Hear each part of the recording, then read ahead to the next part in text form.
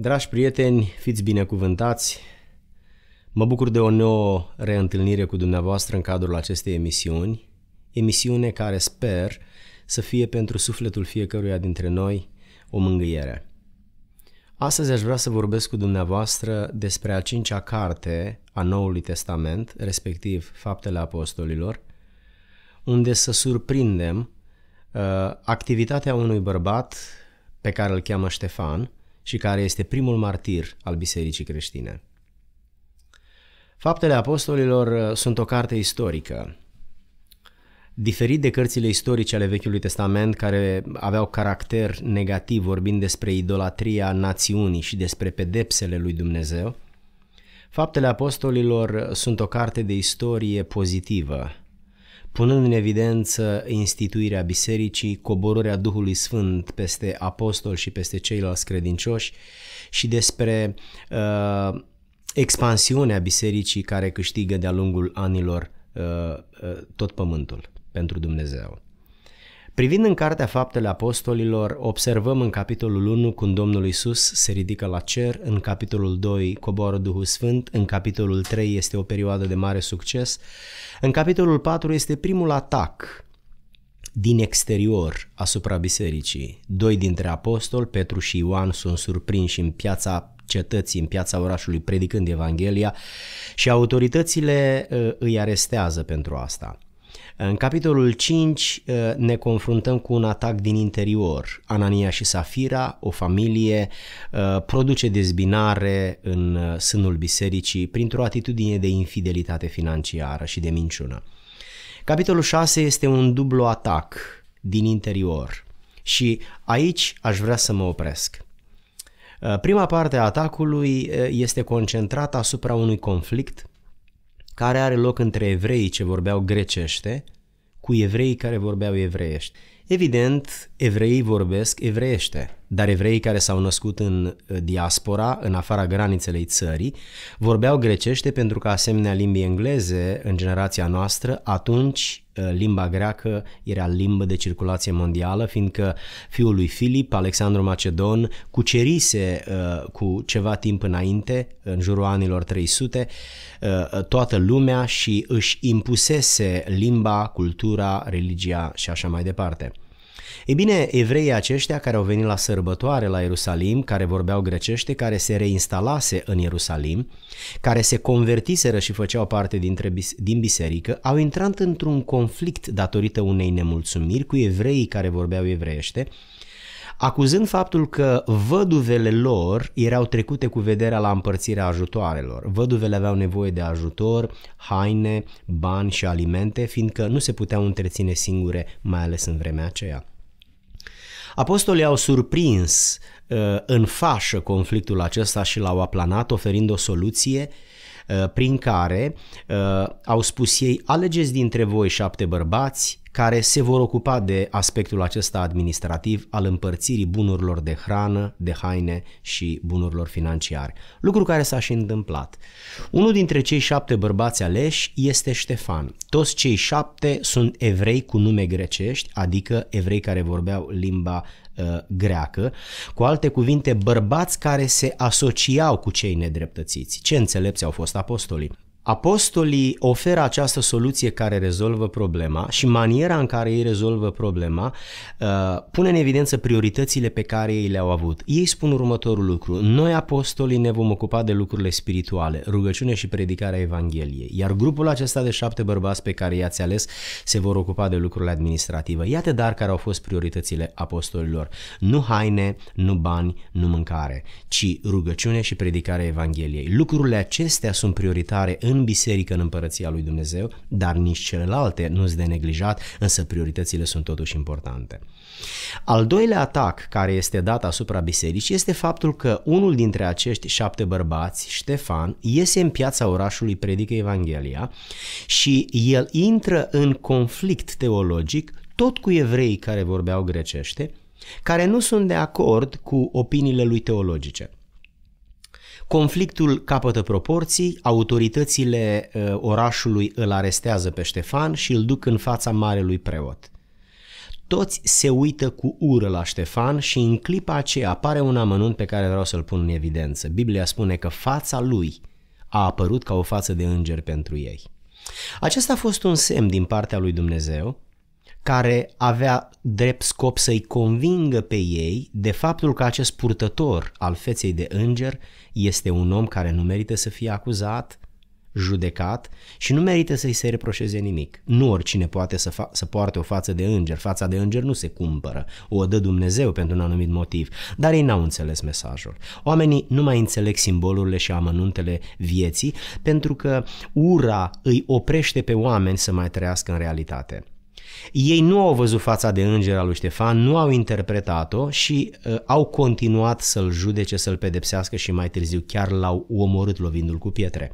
Însă, marele preot îi oferă dreptul elementar de a se apăra și îi spune apără-te, este adevărat ce spun aceștia care te acuză. Ce spuneau cei care l-au acuzat? Cei care l-au acuzat spuneau următorul lucru. Au găsit niște martori mincinoși care au depus mărturie mincinoasă acuzându-l pe Ștefan că ar fi zis lucruri care nu le-a zis, împotriva legii și împotriva templului, elemente la care evreii țineau mai mult decât ca la ochii din cap, templu și legea. El nici de cum nu spusese aceste cuvinte, însă, din invidie, evreii, pentru că nu l-au putut învinge teologic, și-au manifestat ura și răutatea, găsit niște oameni de nimic pe care i-au momit cu bani și i-au folosit ca niște martori mincinoși care l-au acuzat pe nedrept, mințind împotriva lui Ștefan. Și omul acesta ajunge acuzat în fața sinedriului religios evreiesc Uh, sub pretextul că ar fi spus blasfemii la adresa lui Dumnezeu, a templului și a legii. Și marele preot îi de dreptul elementar să se apere. Apărarea lui Ștefan ne demonstrează că Ștefan este omul care a plătit prețul pentru credința lui. Acesta este titlul mesajului meu din această zi. Ștefan, omul care a plătit prețul. Dragii mei, și o pâine dacă ne cumpărăm, plătim prețul pentru ea. Dar credința noastră pe care o avem în Dumnezeu și o manifestăm într-o lume ostilă lui Dumnezeu, credeți că nu are niciun preț? Nouă ne-ar place să avem o credință care nu ne costă, o credință care nu ne duce la biserică, o credință care nu ne pune să citim Biblia și să ne rugăm, o credință care nu ne modifică valorile și convingerile vieții, o credință care ne permite în continuare infidelități în familie, furt, minciun, scandal, prostii, destrăbălare la ultimul uh, uh, nivel, dar în același timp noi rămânem oameni credincioși. Scumpii mei, o asemenea credință este o religie a păcatului. Adevărata credință în Dumnezeu te pune în relație spirituală cu Dumnezeu te pune în relație cu biserica, cu Biblia, cu rugăciunile, cu postul, te pune în relație cu înfrânarea de la păcat, cu o viață de abstinență, cu niște valori care te transformă într-un alt om, într-un soț fidel, într-un tată responsabil, într-un cetățean de onoare, într-un om de caracter.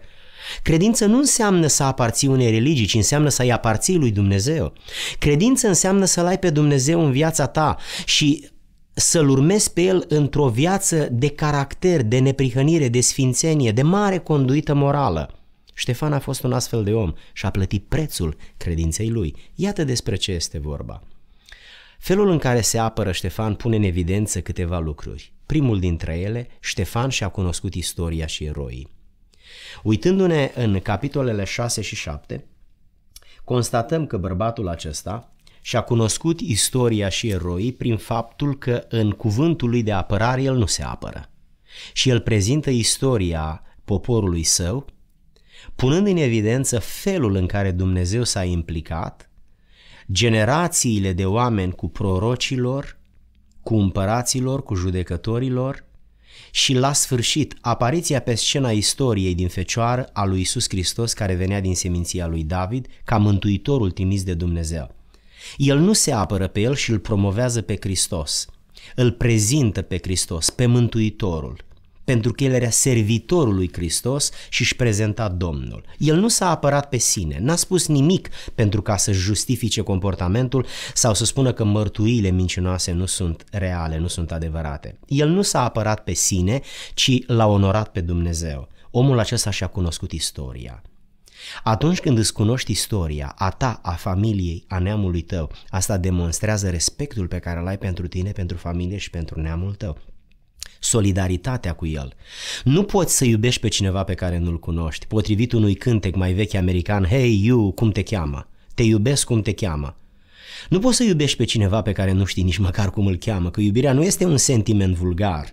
Iubirea este îndrăgostirea, lipirea de cineva pe care îl cunoști interior atât de mult încât ești condus la o stare de admirație, la o stare de alipire de persoana respectivă. Iubirea e un angajament. Iubirea este o acțiune a minții care se manifestă emoțional. Ei bine, Ștefan își cunoștea poporul, își cunoștea istoria, își cunoștea trecutul, dar își cunoștea și eroii. Mai mult de atât, Ștefan uh, este persoana care reușește să identifice păcatele poporului său, nu doar istoria poporului său. Omul acesta cunoaște meritele și partea pozitivă a poporului său, dar are atâta discernământ încât este în stare să identifice și păcatele poporului său. Sunt oameni foarte subiectivi, care își cunosc doar calitățile, dar defectele nu și le știu. Și pentru că ei nu le știu, pretind că nu există. Ei, Ștefan a fost o persoană verticală, obiectivă, a fost un om cu discernământ și a identificat nu numai istoria și partea pozitivă, eroii din neamul său, ai trecutului, dar a identificat și păcatele. Și uitați care este ideea lui Ștefan. Eu spun următorul lucru. Uh, mai mari poporului meu. V-am vorbit despre, istor- despre istoria poporului nostru și despre eroii acestei istorii, dar vreau să vă spun acum că poporul nostru are multe păcate pentru care Dumnezeu și-a întors spatele, a întors spatele la acest popor l-a lăsat singur. De aceea ne-au cotropit imperiile acestea mari, egiptenii, babilonienii, mezii, perșii, grecii, romanii și așa mai departe. Vreau să vă spun că dacă noi vom continua să repetăm păcatele acestea, Dumnezeu își va întoarce spatele și de la generația noastră și blestemul lui Dumnezeu va înlocui binecuvântarea de care am avut parte până acum. Trebuie să ne oprim din modul acesta de viață păcătos și el începe să înșire păcatele strămoșilor care de fapt se perpetuau, se repetau și în viața lor, a generației lui și spune următorul lucru, le dă câteva exemple de vârf și spune următorul lucru. Vă aduceți aminte de patriarhul Iosif, penultimul fiu al lui Iacov? Că atunci când Dumnezeu i-a dat vise și a vrut familia, a vrut să prezinte familiei sale păcatele familiei sale și să îi cheme la Dumnezeu, Scriptura ne spune că ei l-au pismuit l-au urât și n-au acceptat mesajul și l-au vândut, l-au aruncat într-o groapă vrând să-l omoare și mai apoi l-au vândut. Însă Dumnezeu l-a folosit, l-a binecuvântat, dar atunci când El a venit cu cuvântul lui Dumnezeu la ei, ei n-au avut modestia și umilința necesară să accepte starea lor de păcătoșenie, ci din potrivă s-au justificat și pe El au vrut să-l omoare ca să-i închidă gura. Este mai ușor astăzi să închizi gura celui care te mustră decât să te umile și să accepti faptul că el are dreptate corectându-te. Apoi oferă un alt exemplu. Moise a mers cu mesajul lui Dumnezeu la popor, la poporul său. Și uitați ce spune Biblia, care a fost reacția poporului. Uh, cine te-a pus pe tine judecător peste noi? Dacă tata spune ceva familiei, reacția verbalizată sau neverbalizată. Cine te-a pus pe tine judecător? Dacă se ridică un conducător care încearcă să facă ordine, cine te-a pus pe tine judecător? Nu poți să conduci niște oameni aroganți. Niște oameni care nu se umilesc acceptându-și defectele în perspectiva corectării lor. Niște oameni care s-au născut perfecți, trăiesc și mor perfecți. Nu poți să conduci astfel de oameni. Oameni care mereu au dreptate, oameni care n-au nimic de corectat și de învățat. Generația lui Iosif a fost o astfel de generație. Și Dumne- peste păcatele lor a mai adăugat și păcatul mândriei și Dumnezeu și-a întors spatele de la ei. Generația lui Moise a fost o astfel de generație. Generația aceasta a fost o generație care l-au respins pe Iosif, l-au respins pe Moise, l-au respins pe Dumnezeu. Uitați ce spune Biblia. Părinții noștri nu au vrut să-L asculte pe Dumnezeu, l-au nesocotit pe Dumnezeu și și-au întors inimile către Egipt, către simbolul păcatului și al destrăbălării l-au respins pe Duhul Sfânt. Uitați ce le spune Ștefan, oameni tar la cerbice, ne tăiați împrejur cu inima și cu urechile. Voi întotdeauna v-ați împotrivit Duhului Sfânt. Cum au făcut părinții voștri, așa faceți și voi. Priviți ce îndrăzneală a avut acest om. I-a confruntat pe toți oamenii strânși în piața cetății, care s-au adunat ca să-l acuze, i-a confruntat cu păcatele pe care le aveau, păcate care de fapt erau moștenite de la părinții și străbunii lor, păcate pe care și ei le practicau, negăsindu-le rele nici în viața părinților lor, nici în viața lor. Dumnezeu din motivul acesta, al păcatelor acestora, a întors spatele acestui popor. Stimați prieteni, noi vrem o țară care să meargă bine. Cum să meargă o țară bine spre care Dumnezeu stă cu spatele? Cum să se întoarcă cu fața spre niște oameni care trăiesc în destrăbălare, care legalizează prostituția, pornografia, homosexualitatea, redefinirea valorilor de familie, care trăiesc într-o corupție grozavă, care merg la biserică în timp ce beau și fumează, în timp ce își necinstesc familiile, copiii și soțiile, în timp ce se comportă în modul acesta în care se comportă.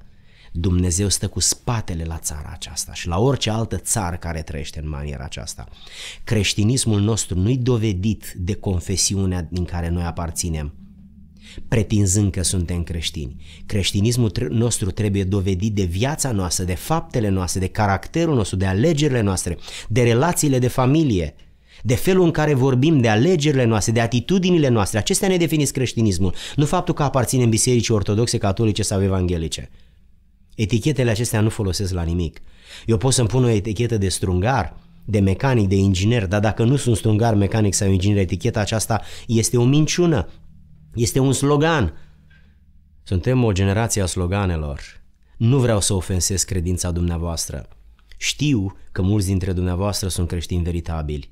Rolul meu nu este să acuz, ci să pun în evidență riscuri la care ne expunem prin necredința noastră și să spun că oamenii din vremea lui Ștefan nu au avut puterea să recunoască că toate aceste destrăbălări sunt prezente în viața lor, s-au ascuns pretinzându-se oameni de caracter în timp ce erau oameni de nimic. Dragii mei, oamenii aceștia s-au ascuns de Dumnezeu, crezând că îl pot înșela. Și atunci Ștefan le dă lovitura de grație spunându-le următorul lucru. Voi mergeți la templu, crezând că dacă intrați în templu, sunteți sfinți, dar înaintea lui Dumnezeu, faptul că intrați în templu, în biserică, nu are nicio valoare dacă voi în inima voastră sunteți niște oameni cu valori păcătoase și trăiți în păcat. Mântuirea acestor oameni pentru ei era legată de templu, nu de Dumnezeu. Liniștea lor era legată de faptul că merg la templu și dacă merg la templu, Dumnezeu este obligat să-i ducă în, în rai. Însă Ștefan le-a spus următorul lucru, degeaba mergeți la templu dacă nu vă curățiți inimile de păcat și nu vă întoarceți la o viață de căință față de păcat și la o viață de sfințenie și neprihănire când ei au auzit aceste cuvinte, care le-a luat speranța falsă de care erau agățați, atunci au sărit asupra lor, Biblia folosește această expresie plastică, s-au năpustit asupra lor, l-au dus în afara orașului și l-au omorât cu pietre.